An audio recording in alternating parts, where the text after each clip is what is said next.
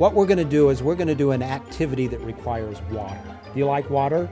Okay, now this is a lot of fun because what we'll do is you take a little water and you pour it right in the styrofoam cup, just like that, okay? And then we're going to take a card and put right on top of the cup.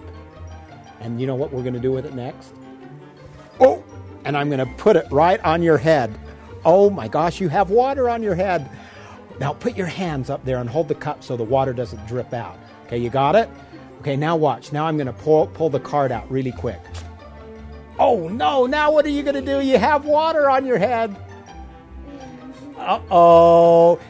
Go ahead and lift the cup off and show me what happens.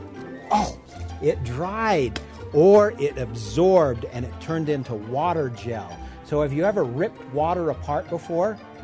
Go ahead and pull it apart. There you go. Isn't that cool?